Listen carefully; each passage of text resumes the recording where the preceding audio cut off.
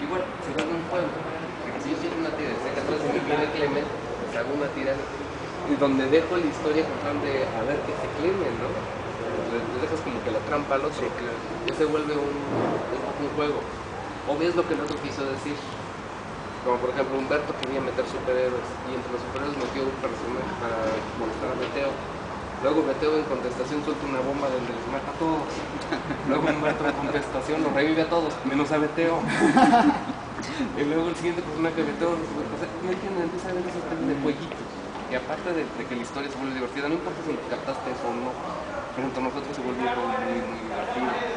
Eh, hablábamos de que un poco como esta película de la furia de Titán, como si estuvieran los dioses desde acá jugando con sus fichas de los personajes, que realmente, aunque los personajes se están matando literalmente, realmente Zeus echándose bromitas con Apolo. O sea, es un poquito así.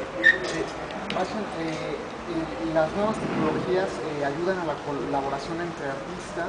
Eh, ay, pero ¿crees que pueden ser una, una buena manera de reactivar la industria del cómic